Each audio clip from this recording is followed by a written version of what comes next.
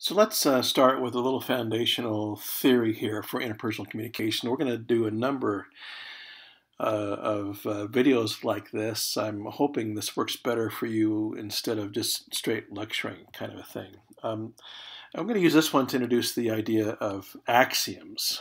And uh, by definition, an axiom is a rule or a law upon which something must um, operate. Uh, we have physiological axioms of having to breathe uh, oxygen and nitrogen and, and process uh, electrolytes and proteins and stuff in order for us to keep alive. Well, these, these axioms work out the same way for interpersonal communication. In fact, they're the force of interpersonal communication. Uh, oh, and that reminds me of a movie. The whole idea of uh, the force. Here are the axioms, okay? the uh, the laws upon which we go through and communicate. Okay, communication. It's packed, it's punctuated, it's inevitable, it's irreversible, it's unrepeatable, and there are content and relational dimensions. Did you get all that? Don't worry, we'll come back and do them all one by one here. Okay, so we'll start off with this idea that communication is packed. It's packed and it's packaged, and uh, happens on two different levels. It happens on a verbal and a nonverbal level. Now, the verbal level, we have messages that are going back and forth that we're sending and receiving. We'll talk more about that in uh, the next video that gets into the transactional model. It's a three-part series that you need to watch there as well. Um, and there's another video that deals with nonverbal uh, communication. But here, in terms of the axiom that communication is packed, these are the two main areas that pack that in. Okay, um, take nonverbal for example. Oh, oh, oh, that movie. That's right. So in in the Force Awakens, um, we have this mysterious individual. We don't who know who they are as they're going through and and taking apart some incredibly giant star destroyer. And then we find out that it's Rey. Um, and along with um, understanding that and the character, and then we see the the uh, the things that Rey wears. Her, uh, I don't even know what to call any of that, but all those things come together in a package and create. Uh, meaning for us in terms of this character and who she is. In fact, that's really um, one of the finer points of great filmmaking is where we have that kind of uh, package continuity going on, both verbally and non-verbally. We're introduced to another character in that film, K2SO, who um, has these remarkable human-like nonverbal attributes to him. And of course, we know why, because you know he's based on a human being who's actually playing him, and they're doing CGI to go through and put that together. Anyway, here we have a machine though that has become anamorphized in in terms of the package, in terms of uh, its ability to to communicate not just verbally but non-verbally in terms of the emotions and the uh, the fear and the angers and things that I won't spoil the movie for you. Actually, I, I am going to spoil the movie for you here a little bit later on. So if you haven't seen it and you want to avoid spoilers, tough, you have to watch this for the class as it goes. Um, communications packaged also in terms of uh, the conversations that we have uh, both verbally and non-verbally, but there's usually a pattern that goes to that. We have some kind of an opening where we we greet somebody and then we feed forward with that opening, saying, "Hey, uh, uh, how you doing? You know, have you seen um, the Force Awakens?" Feed forward, and they say, "Well, yeah. As a matter of fact, uh, I I did see that." And then we get to talk about it and take apart, you know, its plot points and get into things that way, and then um, we get into some level of feedback and say, well, gosh, you know, I can't, I can't hardly wait to see Rogue One. You know, hey, you want to come with me? Maybe we can set up a time we can go through and do that, and blah blah blah. And then we close with some kind of, well, it was good to see you, and uh, you know, look forward to seeing you again as we go. So that that constitutes a package, a conversational package. Um, that also accounts for this whole idea that uh, communication is packaged verbally, non verbally, and then conversational packages that go on. Okay? All right, moving right along. Communication is punctuated. Hmm. Not necessarily with uh, periods and exclamation points and semicolons.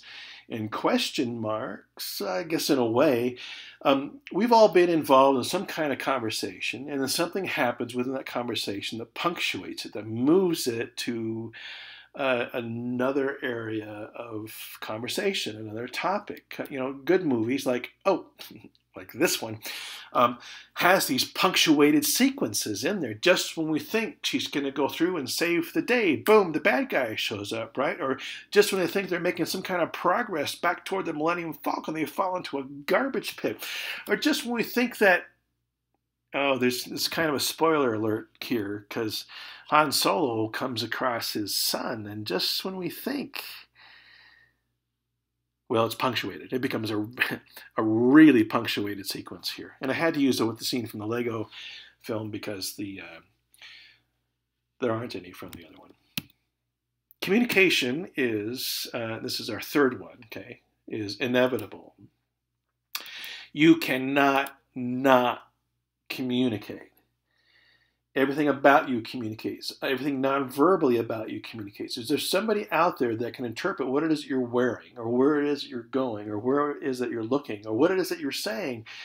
You're communicating. You cannot not communicate unless, of course, you're a Jedi, and, and then you can go through and warp and turn around communication here. You know, BB-8. So he's he's he's rolling along, and and then he something catches his attention. He recognizes not a face, but a jacket, a jacket that's worn by Finn, a jacket worn by Finn that belongs to Poe. And BB 8 really likes Poe, even though he's a robot. Okay.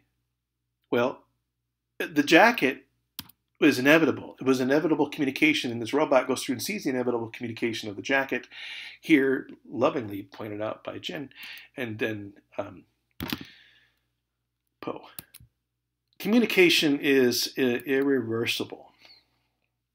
This is uh, an axiom that most of us don't like because you can't take it back. And uh, often the words we want to take back are ones that we've expressed with some level of uh, anger we've been escalated in some way, and somehow that little jewel escapes our tongue and our teeth without our ability to go through and edit it or at least shut the hell up. And it goes out there and it ping pongs and ricochets around the relationship, and you go, ah, I didn't mean that. And that's a bunch of crap, too, because you did you meant it at the time. And that's why communication is irreversible. So I'm hoping one of the skills you're going to come out uh, of this class with is your ability to not have to take it back so often because communication is irreversible. And when you put it out there, you can't. There's no magic eraser. You can't rewind. You, you can't magnetize it. You can't edit it. It's out there, and it's going to go around. And like like when he disclosed his familial relationship to the other guy. Okay? Or you can't ever take this back. You know what I'm saying? Or this. Destroying a planet. I mean, how do you, you can't take that back? Some people might say that that is um, unrepeatable there. Now, this one's kind of weird. Um, this axiom that communication is unrepeatable. Because if we go through and we um, mediate communication, like we record it on some level, then of course it's repeatable, right? We go back and see the same film over and over and over again, and we might come away with something different every single time. Even though the segment itself was repeatable, it's unrepeatable because we, we now have been exposed to it, and so we're going to respond to it a little bit differently. In, uh, in the transactional model, I talk about the temporal context, okay, the passage of time. And that's what makes communication unrepeatable. As much as we like to go back and reenact that proposal, or we go back to that restaurant and have that nice meal, or we go on that road trip and try to have the same types of experiences that we had on our previous road trip, it's not going to happen. Because all those elements are different the time of day, the mode of travel, the people that we're with, the people that surround us, the the the ambience, the music, the it, it you can't. It's unrepeatable. Um, somehow I have the segment of the trench. Oh, okay. So they're zipping through the trench here. This is in the first Star Wars, the fourth Star Wars, and uh, you know they got to go through and and uh, the, the the X-wings got to go and get the thingy down into the hole to blow up that other big thingy, and then uh, it, it, was really really cool because back in 1976, 77, is that when that was? Um, we sat in theaters and this blew our freaking minds. Okay, to go through and watch this thing, and then this movie comes out, and guess what? Spoiler: there's a trench sequence in it, and you know darn well that they got to go down inside this thing, right? Because that's what they did in the other one. But um, because of that axiom, and even though it's a movie, it wasn't the same thing. Uh, here's a last one, and this one's a little on the tricky side. Communication is actually, communication has both content and relational dimensions to them. And there's a video that I've put up uh, in this module that you need to watch um, called A Tale of Two Brains Content versus Relational, The Tale of Two Brains. Uh, Mark Gungor, uh, you need to watch that to go through and, and explain this a little bit better. Let me highlight this for you, though. First off, this boils down to gender, okay? Because men, for the most part, not everybody, okay, there are exceptions to everything here, but men, for the most part, are content oriented. We go from from one idea to the next. We're we're into specific details that are that are combined, and we're more interested. We have the ability to go through and tell more useless statistics and facts about things because of that content orientation. We, we like to collect those things.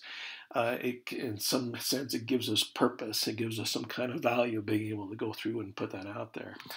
Um, women, not so much. Okay, w- women don't care about those kinds of details because they're relational. They care about nurturing. They care about developing. They care about getting along. They care about how others are going to go through and get along.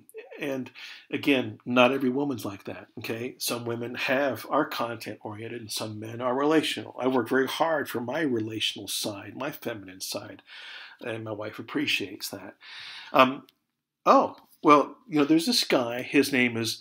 Um, uh, Gerrera and in Rogue One, and, and he's very content oriented, and we really don't know what his role is until a little bit later on, until we find out that he really be kind of kind of came uh, became a caregiver for Jyn, okay, but um, he's concerned about. Uh, the fact that this other guy's been kidnapped and he has the plans to the great destroying device that's out there and is kind of caught up on that. Jyn, on the other hand, well, she's a little on the content oriented side too um, as a kid, she has this relational concept with Gerrera. Okay, Saw, that's his name, Saw Gerrera.